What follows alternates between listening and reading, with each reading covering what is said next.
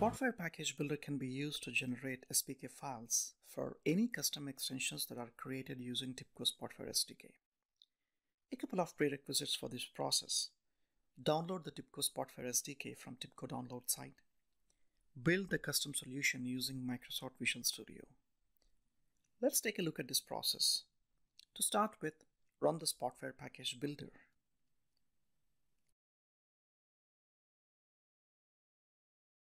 Let's click on Manage and add a name for the configuration.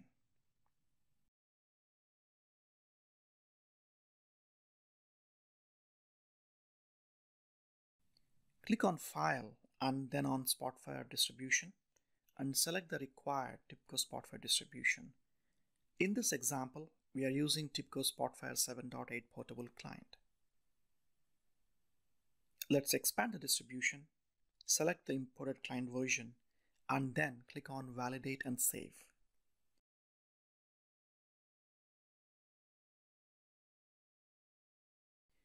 Once the configuration is validated, we can add the compiled extension. In this video, we are going to use one of the examples provided in our SDK.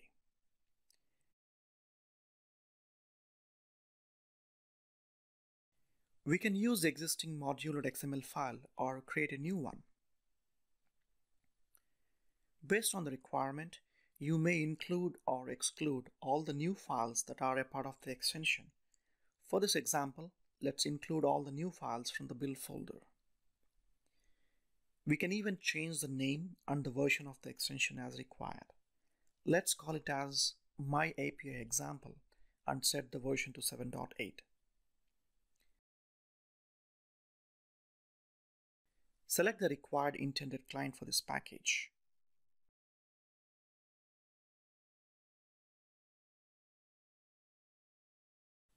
Click on Finish to create the extension and add it to your configuration.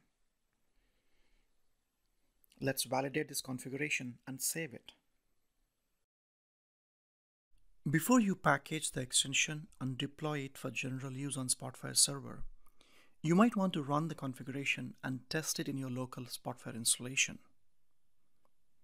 Use run configuration to test the extension we can see the extension under Tools. To generate an SPK file, right-click on the extension and select Build Package File. This SPK file can be deployed on the Spotfire server through Spotfire Administration Console.